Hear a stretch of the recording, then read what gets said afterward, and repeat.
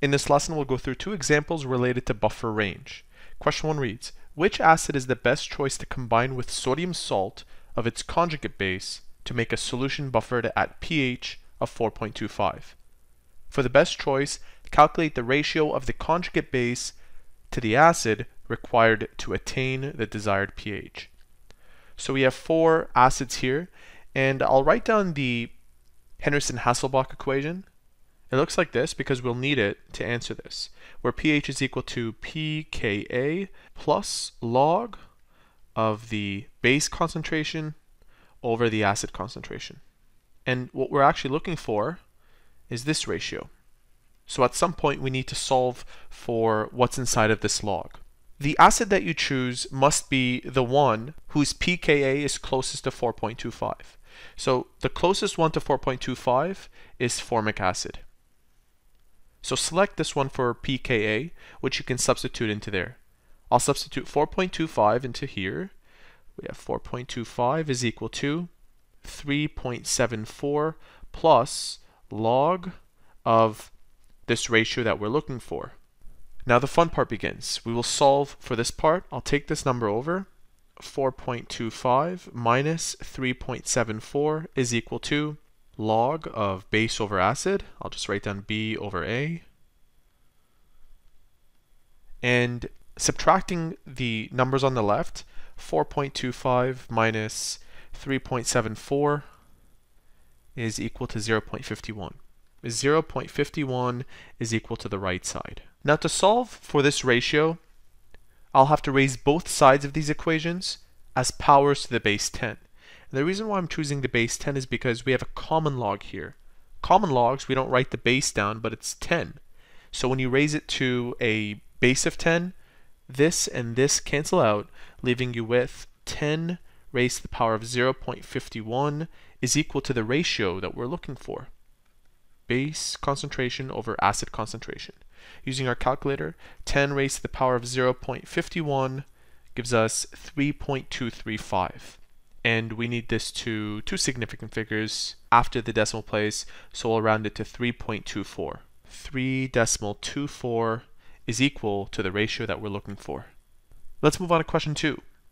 Which acid in the question above is the best choice to create a buffer with a pH of 7.35? So this time we will replace pH with this number and we've been told that we have 500.0 milliliters of a 0.10 molar solution of the acid.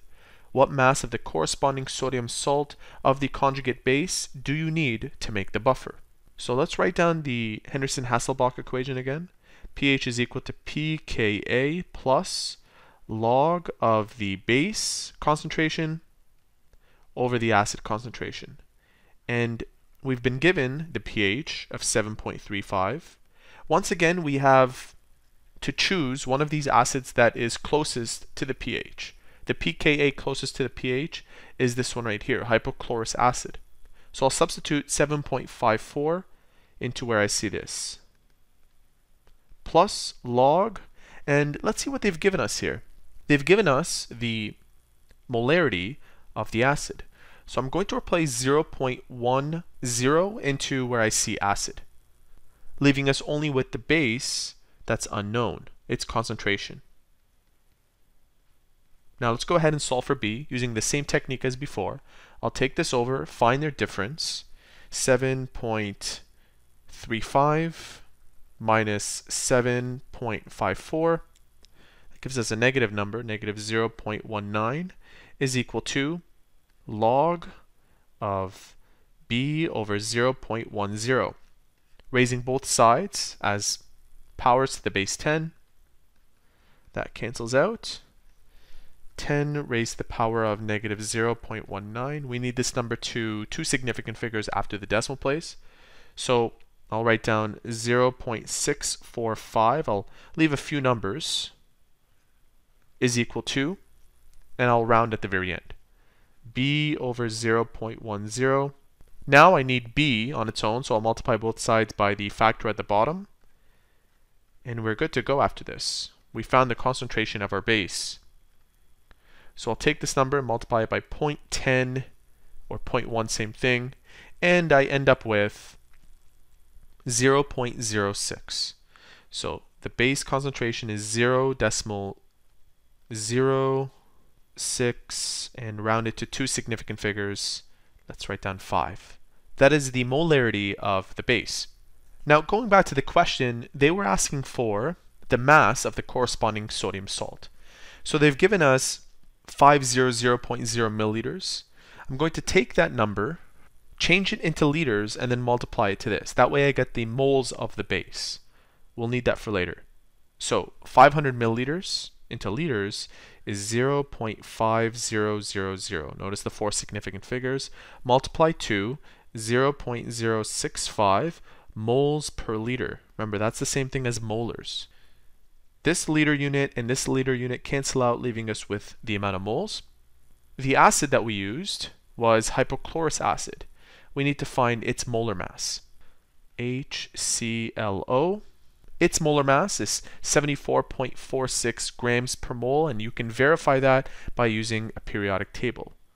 I'll take the product of these two numbers, remember right now it's mole, and multiply it by 74.46 grams per mole. And watch this, the mole units now cancel out, leaving us with the mass. Using our calculator, 0.5000, that's four significant figures, multiply to a number that is two significant figures, right there. And that's being multiplied to a number that is four significant figures. So our final answer should be rounded down to two significant figures once all of this is done.